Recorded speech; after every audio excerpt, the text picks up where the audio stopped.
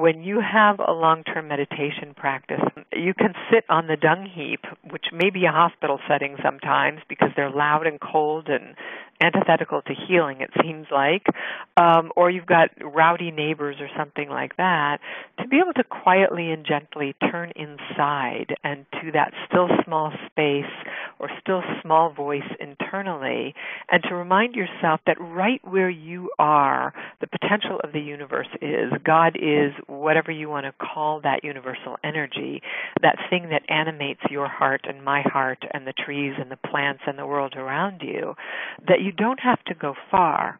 Um, in some, you know, Hindu traditions, they say that this space of uh, the universe or God or that which is sacred is closer than hands and feet. It's as if having your glasses on your head the entire time. So this thing that we're looking for is right inside of us if we're willing to dive deeply inside and feel what's there. Sometimes it's the feeling of nothingness. Sometimes it's the feeling of deep sadness or regret. But to really allow a full space of feeling no matter where we are.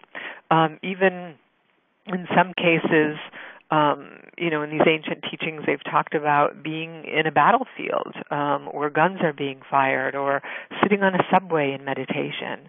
The point is, anywhere you go, that's what Joseph Campbell was offering us um, at the very beginning. That anywhere you go, uh, your sanctuary is with you if you've made yourself a safe human being.